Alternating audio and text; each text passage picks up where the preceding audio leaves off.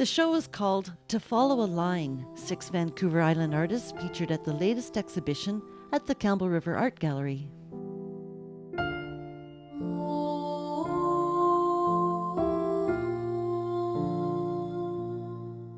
And they're all exploring the idea of drawing in terms of uh, the idea of following a line and in terms of thought or just the process of a line across the paper.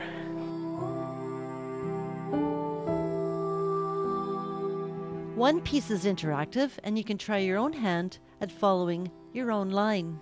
There's two different audio tracks that if you put the headphones on and sit and listen, it's meant to be kind of a narrative that you can sit and listen to and that determines your it's your interpretation on the page and I think that was kind of her intention was to have people interpret it their own way and show that uniqueness of the interpretation that not everyone will have it the same way.